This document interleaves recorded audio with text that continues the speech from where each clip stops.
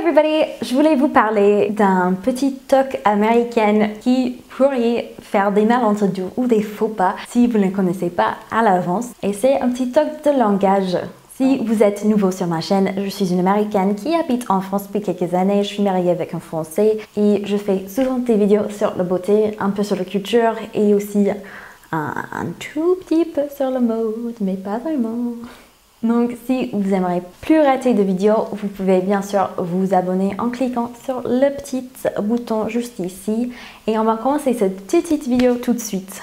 Les Américains exagèrent, mais c'est pas même pour eux, ce n'est plus même exagéré, ça fait juste partie de langage. Et au point où des fois, même si on n'exagère pas, les personnes, ils vont interpréter que c'était moins ou plus grave que ça l'était vraiment en fait. Donc par exemple, si on va aller voir un film en France et c'était bien, on va dire ah oui, c'était pas mal. Aux États-Unis, si on dit it wasn't bad, c'était pas mal. Ça veut dire que c'était un petit peu mal quand même, mais c'était pas, euh, ça valait vraiment pas le coup. Souvent, souvent, les gens ils vont dire Ah, ce film c'était vraiment bien, c'était vraiment bien. Et si le film était vraiment bien, si on reste sur un ton neutre, c'était vraiment bien, on va souvent dire Ah, c'est le meilleur film que j'ai vu de toute ma vie. Et si vous avez des euh, amis américains, c'est possible que vous avez remarqué cette petite tendance et vous étiez en train de vous dire Mais en fait, tous les films qu'ils aimaient bien, c'était le meilleur film de leur vie. Qu'est-ce qui se passe? Et je suis sûre, si vous regardez des tutos maquillage en anglais ou des vidéos de maquillage des États-Unis, vous avez remarqué que toutes les filles sont obsédées avec toutes les nouveautés qui sont jolies. Et oui, on dit souvent ça. Quand j'ai commencé à sortir avec mon mari et j'étais juste complètement folle de lui, je lui disais qu'une fois que j'étais obsédée de lui, et il disait hum, ça se dit pas trop en français, ça fait un peu bizarre. C'était, euh, je me souviens, je suis obsédée de toi, mais no, no, ça se dit un peu moins.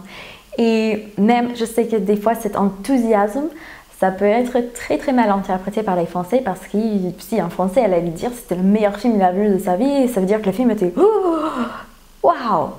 Et il faut aussi noter que cette exagération, ça va dans le sens à l'envers. Donc des fois, si c'était vraiment pas bien le film, c'était le pire film que j'ai vu de toute ma vie.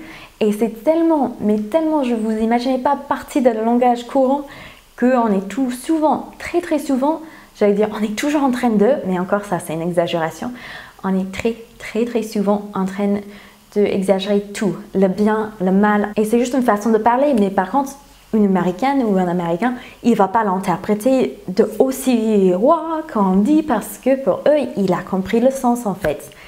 J'espère que j'ai un peu de sens là parce qu'en fait je suis pas une experte de langage en général. J'ai pris un ou deux cours sur les linguistiques à l'université donc je ne suis pas du tout experte mais c'est quelque chose que je trouvais tellement marrant et au début il fallait vraiment que j'adapte mon langage pour ne pas justement donner des fausses impressions aux français. Des fois je me souviens je disais les choses comme ils étaient bien ou ils étaient mal ou comment c'était ah mais ça a duré des heures et des heures et des heures et pourtant ça a duré peut-être deux heures, vous voyez.